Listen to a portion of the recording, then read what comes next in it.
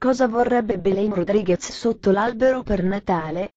Stando a quanto raccontato sulle pagine del settimanale Chi, la bella argentina sembra avere le idee chiare. Cosa desidero trovare sotto l'albero di Natale? Vorrei spegnere il gossip sulla mia vita. Vorrei non avere più intorno una marea di paparazzi ogni volta che sono con mio figlio e vorrei una legge che punisse chiunque usi violenza fisica, verbale e psicologica contro le donne. Una legge dura, veloce, ferrea. Un racconto speciale, alla presenza della famiglia riunita, con i fratelli Jeremias e Cecilia, il padre Gustavo e la mamma Veronica Cozzani, tutti in posa sul numero del settimanale Chi in edicola da mercoledì 20 dicembre. La famiglia Rodriguez racconta come trascorrerà le feste di Natale e, in particolare, Belen coglie l'occasione per sottolineare anche una piccola forma di malessere, che da un po' di tempo l'attanaglia.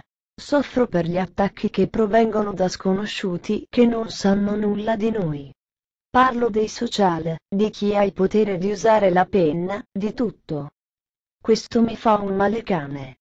Ma la legge dov'è? Ho fatto mille denunce per il Fimoti in rete di quando ero minorenne ed è ancora lì. Che schifo. Discorso diverso per i due fratelli, che per Natale sognano di allargare la famiglia.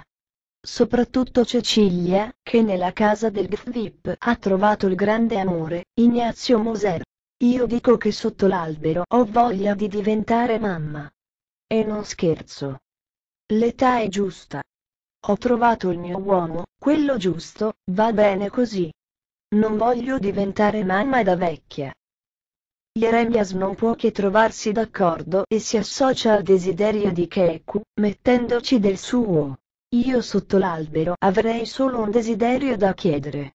Vorrei diventare un buon padre. Di tutto il resto non mi importa. Non mi interessano la fama né i soldi. Ceku, se diventi mamma prima, io sarò zio. Chi se ne frega.